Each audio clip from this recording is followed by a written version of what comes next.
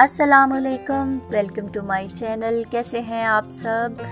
और पहले तो गुड मॉर्निंग क्योंकि अभी है सुबह का टाइम और टाइम है नाइन थर्टी और जब ये व्लॉग आप लोगों को देखने को मिलेगा, उस वक्त भी मॉर्निंग का ही टाइम होगा, क्योंकि मैं रात में एडिटिंग करके और अपलोड करती हूँ।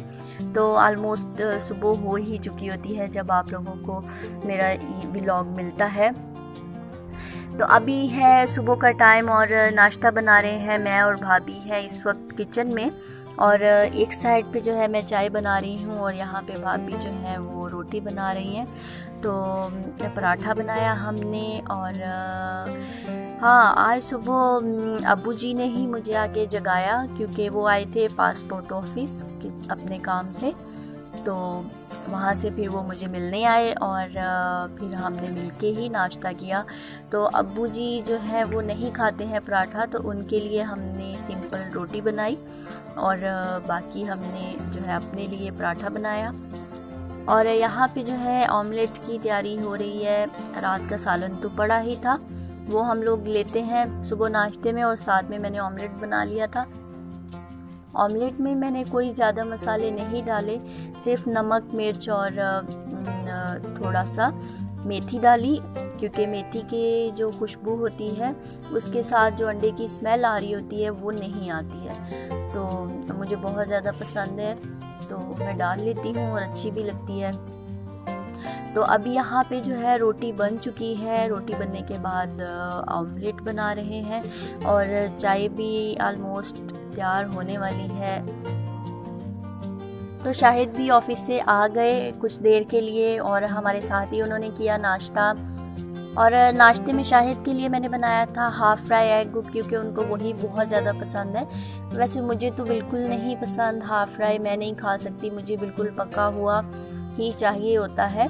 और वो भी सम टाइम जो है मैं छोड़ देती हूँ, मुझे एग जो है कुछ ज़्यादा पसंद नहीं है और स्पेशली इस समर्स में तो बिल्कुल नहीं अच्छे लगते हैं। और चाय मेरी जो है आलमोस्ट जो है वो तैयार होने वाली है। तो आजकल हम लोग इलायची का इस्तेमाल कर रहे हैं। चाय में सौंफ नहीं डाल रहे। पहले आप लोगों को पता है कि हम सौंफ का ज़्यादा इस्तेमाल करते हैं। और, लेकिन मुझे जो है पर्सनली इलायची वाली चाय बहुत ज़्यादा पसंद है।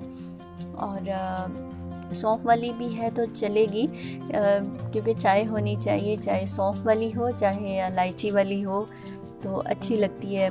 दोनों मौसमों में मुझे चाय जो है वो अच्छी लगती है, चाहे सर्दी हो, चाहे गर्मी हो तो चाय के लिए कोई पाबंदी नहीं है। तो अभी मैं आ चुकी हूँ किचन में नाश्ते के बर्तन साफ़ करने के लिए। अबू जी भी जा चुके हैं और शाहिद भी ऑफ़िस के लिए निकल गए नाश्ता करने के बाद।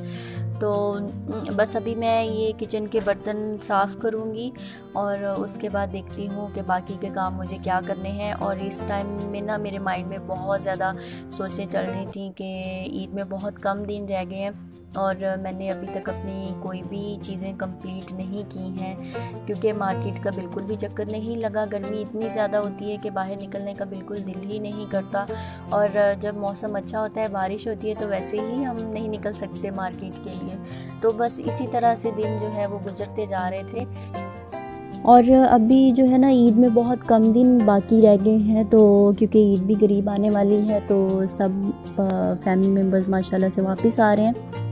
और घर माशाल्लाह से एकदम फिर से भरा पूरा सा माशाल्लाह माशाल्लाह से हो जाएगा। तो भाभी और मैं यही सोच रहे थे कि जल्दी जल्दी जो है अपने सब काम ख़त्म कर लें ताकि सबको टाइम भी दे सकें और घर को भी प्रॉपर जो है वो टाइम दे सकें।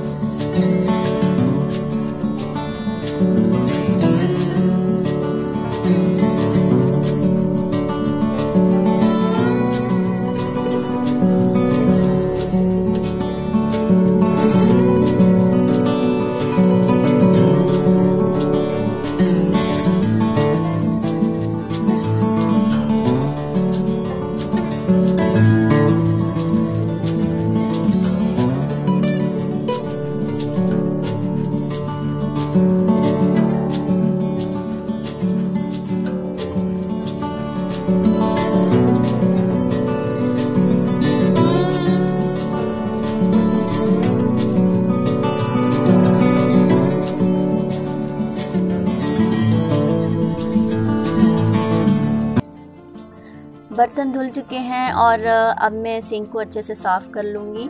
और सिंक को वैसे जो है ना, वीकली क्लीनिंग में तो मैं किसी और चीज़ से साफ़ कर लेती हूँ, लेकिन नॉर्मली जब मैं बर्तन धोती हूँ डेली रूटीन पे तो उसको मैं डिश वॉशर के साथ ही अच्छे से साफ़ कर लेती हूँ और इसके बाद मैं शेल्फ़ को साफ़ करूँगी।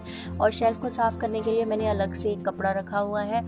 उसी के साथ ही मैं शेल्फ़ को साफ़ करती हूँ, बल्कि दो मैंने बनाए हुए हैं कपड़े और उनको साफ़ करने के बाद बाहर जो है वो धूप में मैं फैला देती हूँ। और जब ड्राई हो जाते हैं तो वापस उनको मैं अंदर किचन में रख लेती हूँ। तो अभी बस मैं कपड़े को गीला कर रही हूँ थोड़ा सा और शेल्फ़ को अच्छे से जो है वो मैं सारा साफ़ करूँगी, अच्छे से सब चीज़ों को क्लीन करूँगी। ये डेली बेसिस पे ही ये चीज़ें होती हैं, क्योंकि जिस तरह से घर में मट्टी आ रही होती है और अगर डेली बेसिस पे इन चीज़ों को साफ़ ना किया जाए तो बहुत मुश्किल हो जाती है क्लीनिंग करना। तो मैं डेली ही अच्छे से इनको साफ़ कर लेती हूँ। तो अभी किचन को अच्छी तरह साफ़ करने के बाद आ, मैं मोपिंग कर रही हूँ। बाकी के मेरे सब काम हो चुके हैं। तो मैं हमेशा लास्ट में ही मोपिंग का काम करती हूँ। सबसे पहले जो है वो सब सेटिंग कर, कर लेती हूँ। फिर झाड़ू देन उसके बाद डस्टिंग देन उसके बाद बाथरूम की क्लीनिंग और लास्ट का जो मेरा काम होता है वो यही होता है। तो मोपिंग के लिए कभी मैं फ़िनाइल यूज़ करती हूँ या फिर डिटोल सरफेस क्लीनर और दोनों की खुशबू मुझे बहुत ज़्यादा पसंद है। और अभी मैं दूसरे रूम में आ चुकी हूँ। यहाँ पे मैं अच्छे से जो है वो मोपिंग करूँगी और उसके बाद जो है वो बाकी का एरिया उसको क्लीन करूँगी। तो ये एरिया क्लीन करने के बाद यहाँ आज मैंने बाहर से भी कर लिया था, क्योंकि अभी सुबह सुबह का ही टाइम था, धूप तो खैर काफ़ी आ चुकी थी, लेकिन फिर मैंने सोचा कि नहीं, शाम तक इसको जो है वो रखना ठीक नहीं है, क्योंकि उसके बाद मैंने शावर लेना है, और फिर शाम में दोबारा से ये सब कुछ करूँगी तो फिर नहीं सही रहेगा तो अभी सब कुछ माशाल्लाह से बहुत नीट एंड क्लीन हो गया है, सब सफ़ाई कंप्लीट हो चुकी है। तो ये सब काम ख़त्म करने के बाद ना घर बहुत ही प्यारा और मतलब बहुत खूबसूरत लग रहा होता है और दिल को जैसे एक सुकून सा मिल रहा होता है कि घर को हमने नीट एंड क्लीन कर लिया है अच्छे से।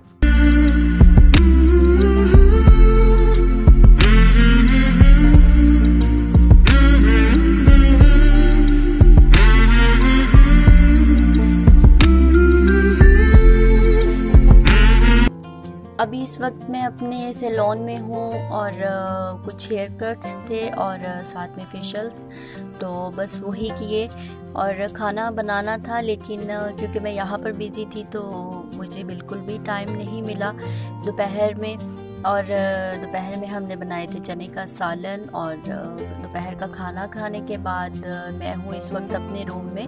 और मैंने ये ड्रेस निकाला था, ये अम्मी लेके आई थी, इस ईद पे मेरे लिए। तो ये एम्ब्रॉयड्रेड जो है ये ट्राउज़र है और इसके साथ जो है वो चिकन की शर्ट है।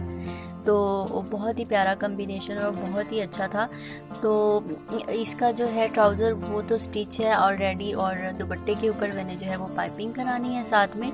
और ये जो शर्ट है, ये चिकन की शर्ट है तो इसको भाभी और मैं सोच रहे थे कि हम खुद ही कुछ डिज़ाइन करते हैं। तो मैंने जो है इस ड्रेस को निकाल लिया है और मैं कुछ ही दिनों में इसको जो है ना कंप्लीट कर लूँगी। तो अभी मैं इस ड्रेस को जो है वो श्लिंक करूँगी। मुझे नहीं पता कि आप लोग क्या कहते हैं श्रिंक कहते हैं या श्लिंक कहते हैं, बहरहाल जो भी है। तो अभी जो है मैं इस ड्रेस को श्रिंक करके मैंने इसको बाहर धूप में फैला दिया था कुछ देर के लिए, ताकि ये थोड़ा सा ड्राई हो जाए और पाँच से छः मिनट के बाद मैंने इसको वापस अंदर फैला दिया, ताकि इसका कलर भी ख़राब ना हो। मैंने अपने परिंदों के लिए पानी रख दिया है और डेली ही मैं पानी ये चेंज कर देती हूँ। और आप लोग भी कोशिश किया करें कि इस मौसम में लाजमी परिंदों के लिए बाहर पानी रखें। और अभी जो है दोपहर का तकरीबन एक बज गया और मैंने दरवाज़े बंद कर दिए क्योंकि बाहर से बहुत ज़्यादा धूप अंदर आती है। वैसे सुबह उठते ही मैं खोल देती हूँ ताकि अच्छी हवा अंदर आए। लेकिन, जब दोपहर में बहुत ज़्यादा गर्मी हो जाती है ना तो फिर मैं ज़रूर सब दरवाज़े जो है वो बंद कर देती हूँ। तो शाम में फिर अचानक से हमारा प्रोग्राम बना मार्केट जाने का। भाभी और मैं इस वक्त मार्केट जा रहे हैं और यहाँ से हम लोग रिक्शा पे जाएँगे मार्केट। तो तहरीम को जाना था भाई के साथ सरगोदा वाली साइड पे। तो भाभी ने लेने थे उसके लिए कुछ ड्रेस तो मैंने सोचा कि आज फिर मैं भी निकलती हूँ बाहर और अपने सब काम जो है वो कर आती हूँ। और भाभी और मैं इस वक्त मार्केट जा रहे हैं रिक्शा पे। हम लोग जो है वो ज़्यादा रिक्शा पे ही जाते हैं क्योंकि यहाँ पे ऊबर या इस तरह से कोई वो सिस्टम नहीं है और मार्केट भी ज़्यादा दूर नहीं है घर से तो हम लोग इसी तरह से ही मार्केट जाते हैं। mm -hmm.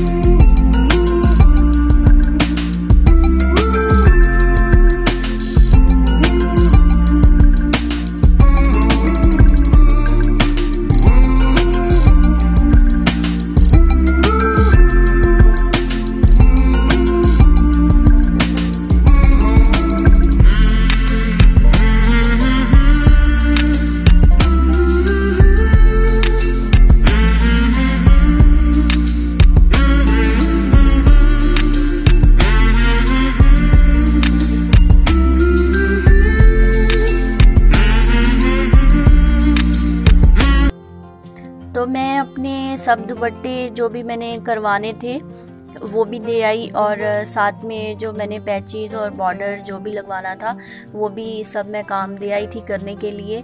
लेकिन क्योंकि अभी इन भाई के पास रश था तो वो अब मुझे सुबह में मिलेंगे और ये मुझे बहुत ज़्यादा पसंद आया था स्टाइल और ये करके दे रहे थे टू हंड्रेड में दुपट्टे के पल्लू। टू हंड्रेड में करके दे रहे थे और यहाँ पर भाभी इस वक्त देख रही हैं तहरीन के लिए कपड़े और देखते हैं उनको कौन सा पसंद आता है।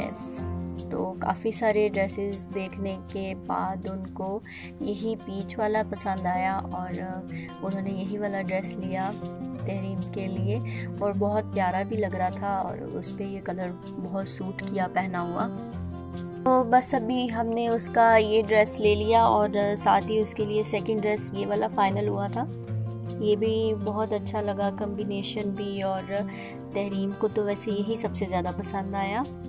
तो बच्ची है ना तो बच्चों को इसी तरह के शौक से जो कलर होते हैं ना, वही ज़्यादा पसंद आते हैं। और उसको स्लीव्स में ये डिज़ाइन बहुत ज़्यादा पसंद आया और वो ये पहन के बहुत ज़्यादा खुश हो रही थी। तो बस फिर मार्केट से वापस आए और उसके बाद हमने डिनर किया क्योंकि शाम हो गई थी, हमें वापस आते और कोई ख़ास काम नहीं था इतना मार्केट और मेरे जो काम है, जो भी मैं देखे आई थी मार्केट, वो मुझे सुबह में मिलेंगे और फिर मैं आप लोगों को दिखाऊँगी कि मैंने किस किस तरह की पीको करवाई है दुपट्टे पे।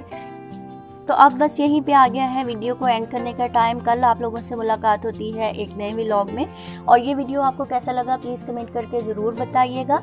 और इसको अपनी फैमिली और फ्रेंड के साथ ज़रूर शेयर करिएगा।